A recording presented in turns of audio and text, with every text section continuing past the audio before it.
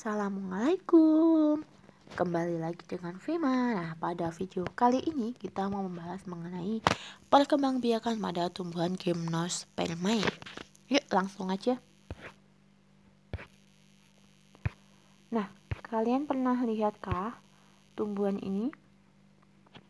Ya benar sekali. Ini ada tumbuhan pakis Ada tumbuhan cemara dan ini ada siklus hidupnya ini nama yang dinamakan tumbuhan gimnospermae atau biji tertutup.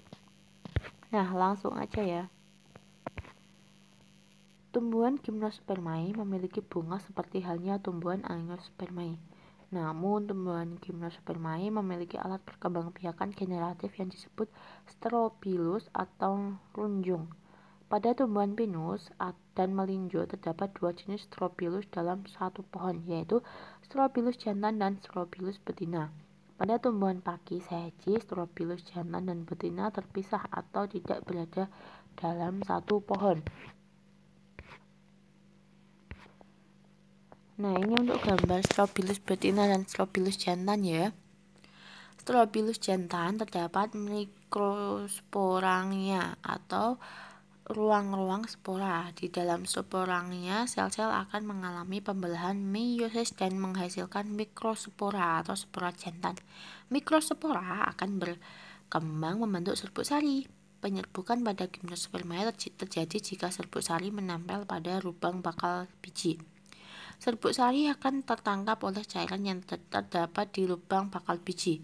Jika cairan menguap, maka serbuk sari akan dapat masuk ke bakal biji dan terjadilah pembuahan.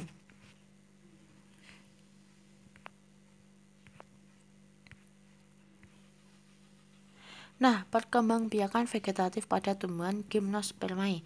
Yang pertama ini ada tunas akar pinus. Selanjutnya ada bubil pakis biji. Bubil pakis haji, mohon maaf. Perkem lanjut kita ke perkembangbiakan tumbuhan paku ya. Nah ini adalah gambar tumbuhan paku. E, apabila pakunya masih muda, pakunya meng menggulung ya atau dinamakan sirisinatus. Terus ini ada akarnya, e, ada rhizoma, rhizoma, rhizoid. Terus ada sorus, ada sporofil. Sporofil itu adalah e, di bawah atau di belakang pada daun paku yang sudah tua ya. Ada bunder-bundere ada batang dan ada daun nah ini adalah uh, siklus hidup tumbuhan paku ya next kalau ini perkembangbiakan tumbuhan lumut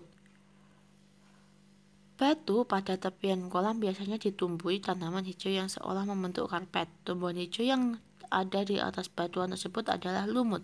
Fertilisasi terjadi jika sel sperma sa sampai pada ovum yang terdapat pada archegonium dengan bantuan air. Nah, ini adalah uh, siklus uh, hidup perkembangan hidup lumut. Ini dimulai dari spora, spora tumbuh menjadi protonema, dan selanjutnya ada antelidium, ada sel sperma, ada archegonium, lalu sel telur. Mereka berfertilisasi. Pada musim hujan, sel sperma berenang ke archegonium. Setelah itu membentuk uh, zigot dan tumbuhan lumut yang muda atau sporofit muda. Setelah, setelah itu uh, menghasilkan tumbuhan lumut yang menghasilkan spora dan sporanya akan ber, uh, berkembang lagi menjadi tumbuh menjadi protonema dan akan terjadi terus menerus ya.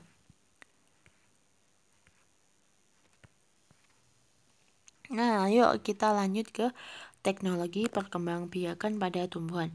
Ini gambar uh, hidroponik yang menanam selada ya. Hidroponik merupakan cara penanaman tumbuhan dengan menggunakan larutan nutrisi dan mineral dalam air dan tanpa menggunakan tanah. Tanaman darat khususnya sayuran seperti paprika, tomat, timun, terong, dan selada dapat ditanam secara langsung dalam wadah yang berisi nutrisi atau dengan ditambah medium yang tak larut dalam air. Misalnya kelikir, arang, sekam, spons, serbuk kayu, dan lain sebagainya.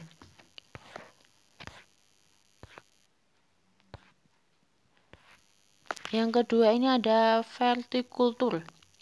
Veltikultur merupakan metode budidaya tanaman dengan cara membuat instalasi secara bertingkat atau vertikal dengan tujuan untuk meningkatkan tumbuh jumlah tanaman. Teknik budidaya ini merupakan konsep penghijauan yang cocok untuk daerah perkotaan dan lahan terbatas.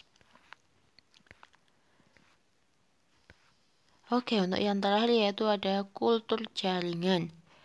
Kultur jaringan adalah suatu metode perbanyakan tumbuhan dengan cara mengambil suatu bagian dari tanaman, seperti sel atau sel atau kelompok sel, jaringan atau organ.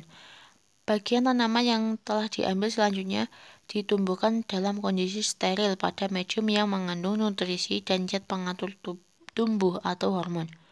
Bagian tanaman akan dapat memperbanyak diri dan berkembang menjadi tanaman yang memiliki organ lengkap yaitu akar, batang, dan daun. Ya, seperti pada gambar di samping ya ada toples-toples ini biar mereka tuh steril. Oke, terima kasih untuk video kali ini. Semoga bermanfaat. Apabila ada salahnya mohon maaf. Jangan lupa like, subscribe, dan tekan tombol loncengnya ya teman. Assalamualaikum warahmatullahi wabarakatuh. Terima kasih sudah menonton.